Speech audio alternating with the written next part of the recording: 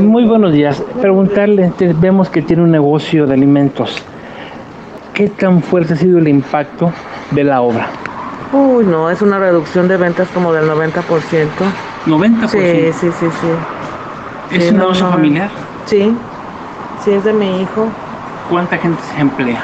Tuvimos que este, darle las gracias al pisero y me quedé yo a ayudarle porque no, no era ya factible, ni lógico, ni costeable este, contratar gente. Pues un 90%. Sí, sí, sí, sí, sí. ¿Corre el riesgo de cerrar? Sí. Sí, sí, sí, estamos buscando la posibilidad hasta de irnos ya. Hay que pagar. Me llegó el recibo de la luz, la renta. No se puede.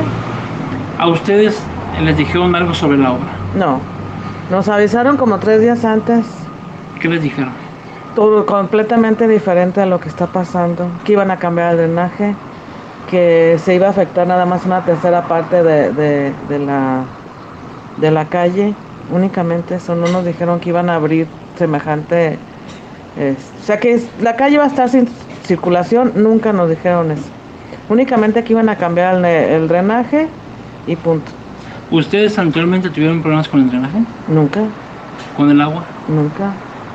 Entonces, una obra que afectó. Eh, afectó muchísimo y, y vaya que lo que yo he visto es que los tubos de drenaje son exactamente del mismo tamaño.